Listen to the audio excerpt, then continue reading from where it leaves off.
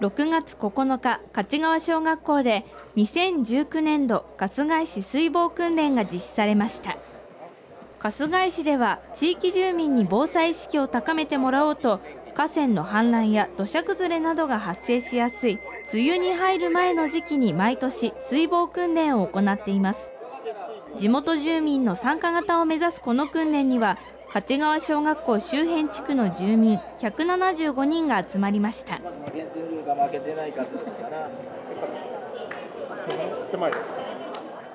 会場にはさまざまな体験コーナーが設けられ避難所設営体験や救命体験また冠水道路歩行訓練や特殊車両の乗車体験などを通して参加者は災害時の対応方法を学んでいました。今回の訓練は台風8号の接近に伴い庄内川が氾濫する恐れがあるとの想定で行います。本部長である伊藤太春日井市長は災害対策本部を設置し近隣住民が避難を開始しました。水害発生時には袋に土砂を詰めた土のうを使い水や土砂の移動を妨げるいくつかの工法があり訓練ではその工法が紹介されます。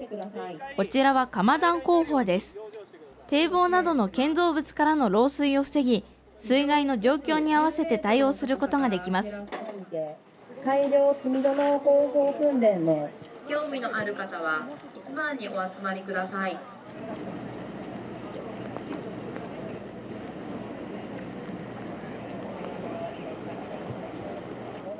こちらは積み土の工法です。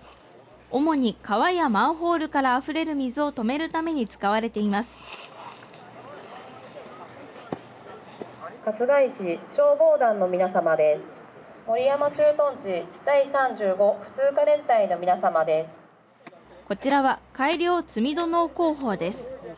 堤防の越水対策で用いられ鉄の棒やブルーシートを使うことでより止水性が高められていますにおける国の治水事業としては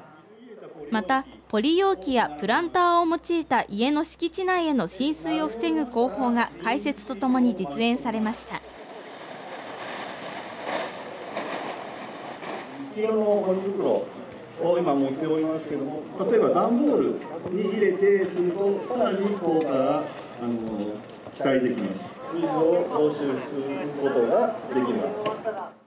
それぞれの工法の実演を終え伊藤市長が視閲しました。訓練の最後に行ったのは警察と消防の初めての合同実演である水難救助です。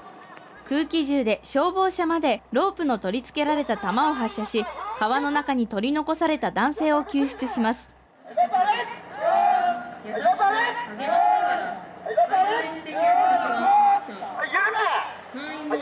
要救助者の男性と同時にロープに繋げています要救助者を無事に救出し伊藤市長が訓練の公表をしました。会場に集まった皆さんはさまざまな訓練の実演を目の当たりにし水害時に対する備えの必要性を感じていたようです。日頃の準備そして訓練されたことに対して敬意したいと自助自分たちの身は自分たちで守るということを改めて認識しなければありたいとその思いでいっぱいであります。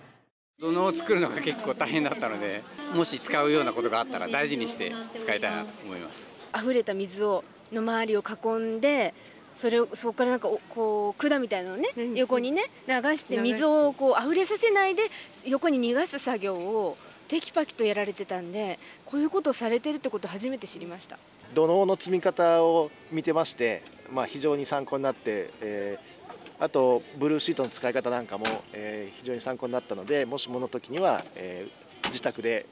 守りたいと思います。ゴミ袋で簡易的に水嚢を作れることを知ったので、まあ、そちらをまたあの雨が多く降ってきた時とかには使っていきたいなと思います。次回の春日井聖でよりはトロピカルガーデンフェアをお送りします